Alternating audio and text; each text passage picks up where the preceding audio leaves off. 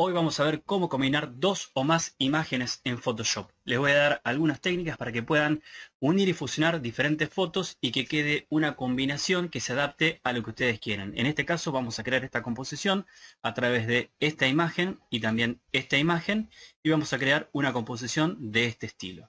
Así que si están listos, vamos a empezar. Muy bien, bienvenidos. Mi nombre es Nicolás y en este caso vamos a crear una composición para poder combinar dos o más imágenes en Photoshop. Y ahora yo les preguntaría a ustedes y me gustaría saber si se dan una idea de cuántas imágenes hay acá dentro. En esta carpeta composición están toda mi composición, que cuántas capas habrá, no sé. Lo más probable es que haya dos o más, como dice el título. No sé si se animan a adivinar, pero yo lo voy a mostrar. Exactamente como ven acá, tenemos el fondo de plantas, una capa de relleno, tenemos la imagen y una capa de ajustes. Así que paso a paso vamos a ver cómo funciona cada uno y cómo las usamos para crear esta composición. Y si nos queda un poco de tiempo, les voy a dar un truco extra al final del video para que puedan trabajar mejor y que quede este efecto, esta sensación. Como pueden ver ahí, esta es la original y esta es la terminada. Hay una diferencia en calidad en lo que es, eh, lo que es el enfoque de la imagen, bastante interesante. Así que eso en el final del video, así se llevan un regalito. Así que si están listos, vamos a empezar. Muy bien. Comenzamos con la imagen de modelo, que la tenemos por acá presente, y tenemos también la imagen de planta, que está por acá, bien, que es una sola. En este caso lo que vamos a hacer es trasladar esta imagen a esta que está acá. Si intentamos arrastrarla, nos posicionamos por arriba en esta ya estamos directamente sobre la imagen y acá la lanzamos. Ahora nos quedó muy por encima. Lo que vamos a hacer es transformarla con los atajos de teclado Control T. Les voy a dejar un video relacionado con lo que son los atajos de teclado, ya que hay un montón. Ahí confirmamos. Y tenemos una parte de lo que sería el fondo. Nos faltaría ponerlo el mismo al lado y lo que vamos a hacer es copiarlo rápidamente hacia el costado Estoy usando también un atajo de teclado que es tocando la tecla Alt y arrastrando, pero con Shift, así es en línea eh, paralela, como se puede ver acá, y lo que voy a hacer es voltearla. Así que voy a ir a edición, transformar y voltear horizontal, así se pone de forma horizontal. Y queda enfrentada, dando la sensación, tal vez sería ahí, un poquitito al costadito, ahí está. Eh, esta, esta sensación eh, no me sale el nombre como prismático, ¿no? Bien, y lo que vamos a hacer es capa 1 y capa copia, combinarlas. Si no saben o quieren saber más sobre el tema de la combinación y cómo conservar las capas, también les dejo un video para que puedan combinar y mantener o conservar las capas originales. Bueno, vamos a desbloquear la capa de fondo y vamos a llevar, ahí está, una capa por encima de la otra. Perfecto, ahora lo que tenemos que trabajar es con las máscaras. Así que en este caso les vamos a mostrar cómo hacerlo. Bien, bueno, para poder trabajar con selecciones o máscaras tenemos diferentes alternativas. En este caso voy a preferir por trabajar con lo que es la varita mágica o selección rápida, que también les voy a dejar un video relacionado para usar bien esta herramienta. Y en este caso lo que voy a intentar hacer es una selección bastante general sobre la modelo en este caso. Y me voy a acercar a estas zonas y voy a restar selección acá. Les muestro cómo es donde voy tocando acá. Ahí está. Seleccionar, agregar selección o no. Ahí está. Agarro un pedacito de acá. Muy bien. Y este pedazo de acá hay que eliminarlo.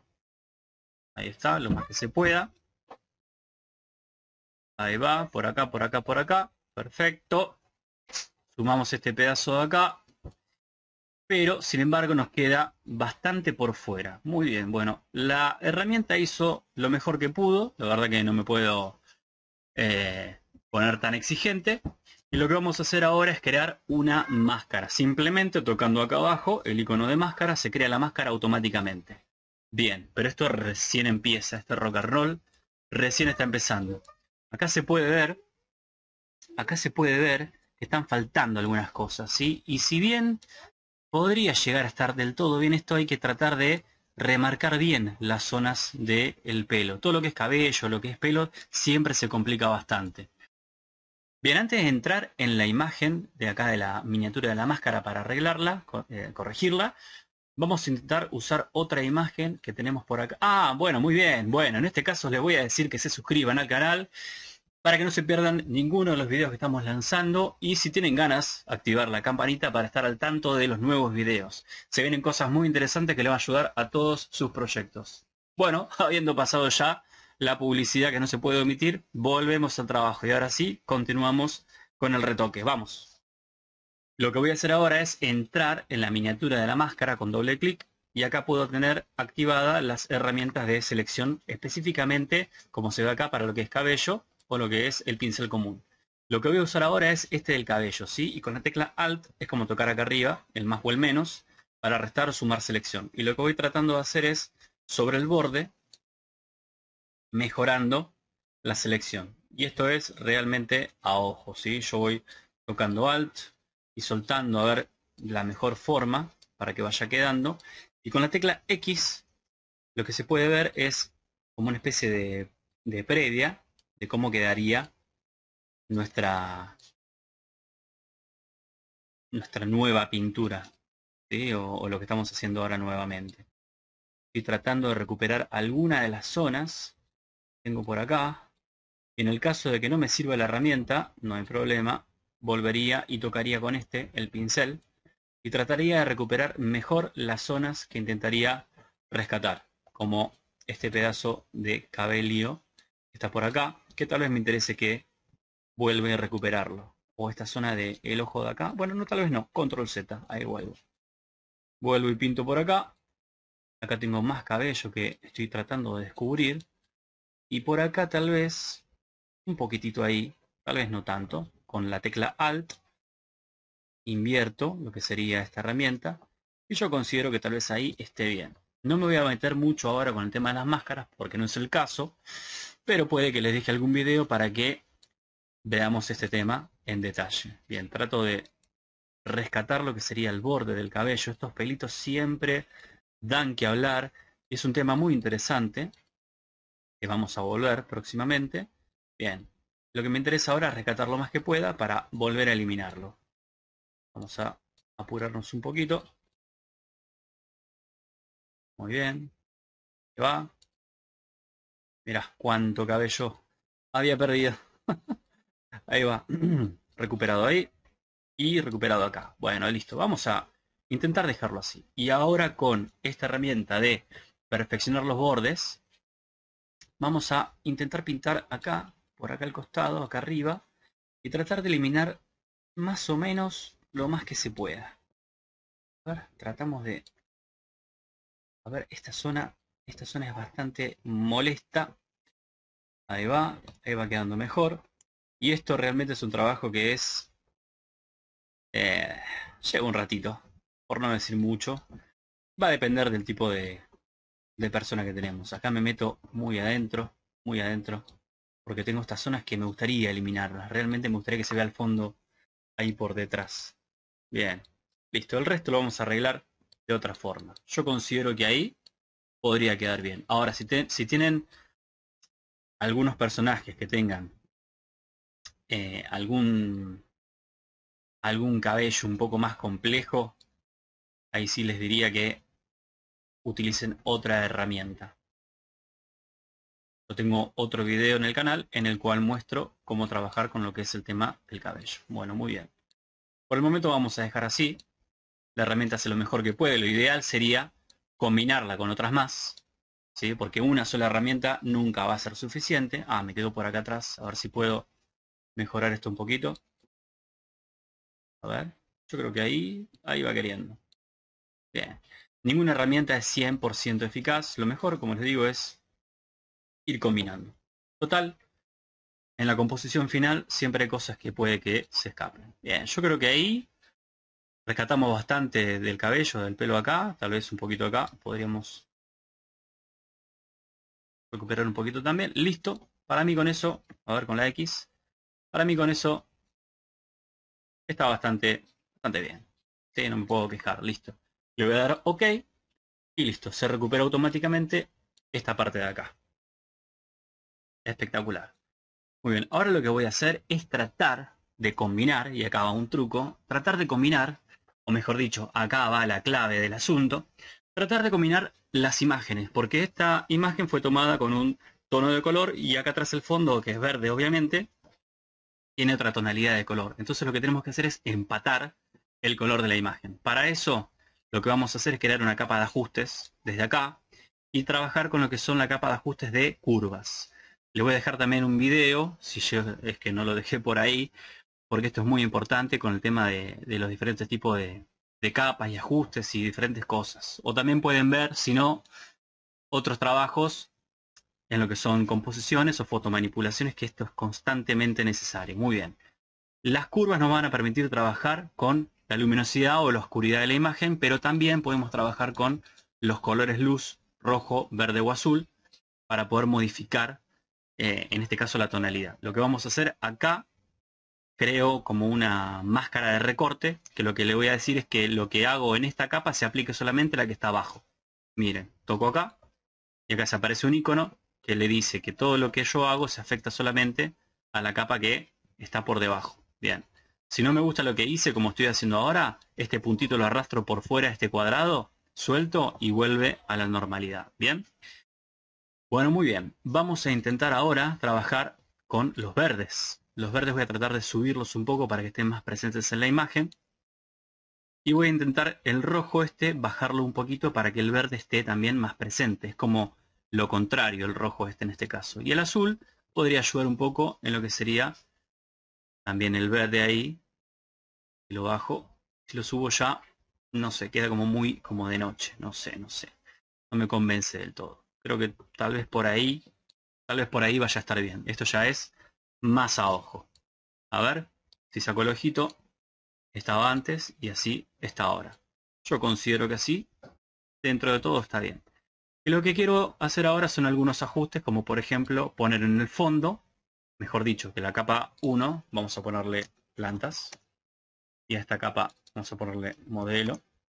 Encima de esta capa vamos a crear una capa nueva vacía y la vamos a rellenar con color negro. Como tengo el color negro acá de forma frontal, lo que hago es, le digo que edición, rellenar y con el color frontal, que en mi caso es el negro.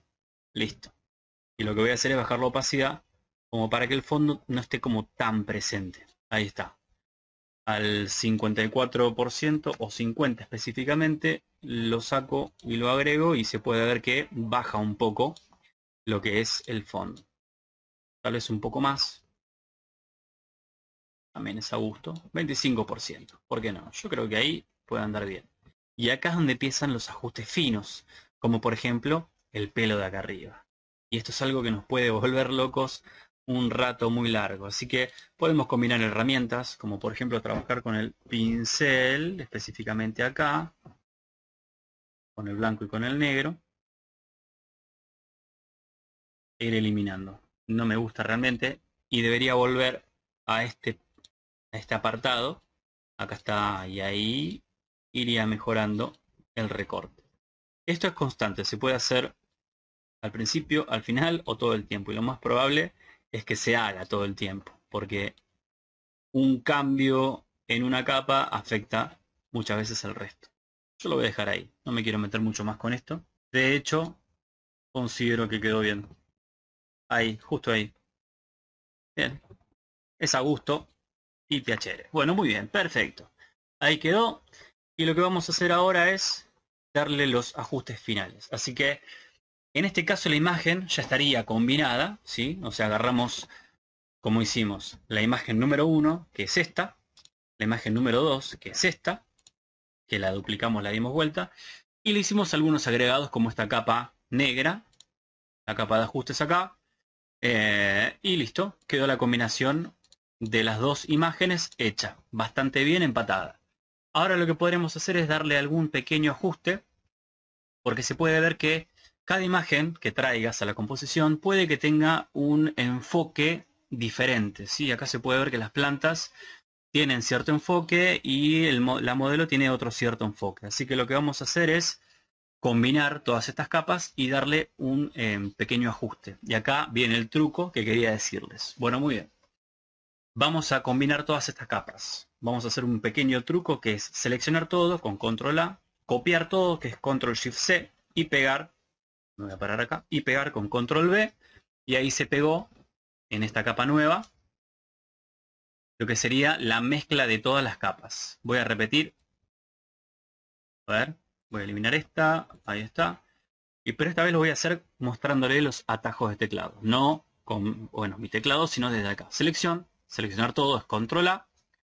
Edición, copiar combinado es mayúsculas control C, sería la tecla shift, control más C.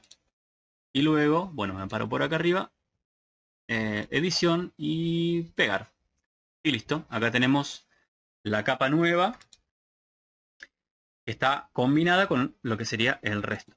Y sobre esta podría trabajar los siguientes ajustes y no modifico el resto. este es un pequeño truco complementario a un video que también está en el canal con las diferentes formas de copiar las capas o mezclar las capas sin perder las originales. Les recomiendo que lo vean. Bueno, muy bien. Y en este caso, que acá ven el truco, es hacer unos pequeños ajustes de filtros. Vamos a ir a filtro, enfocar, máscara de enfoque en este caso, y vamos a poder ver que se está aplicando el efecto del enfoque a la modelo y el fondo. Podríamos hacerlo por separado, en este caso lo voy a hacer todo junto.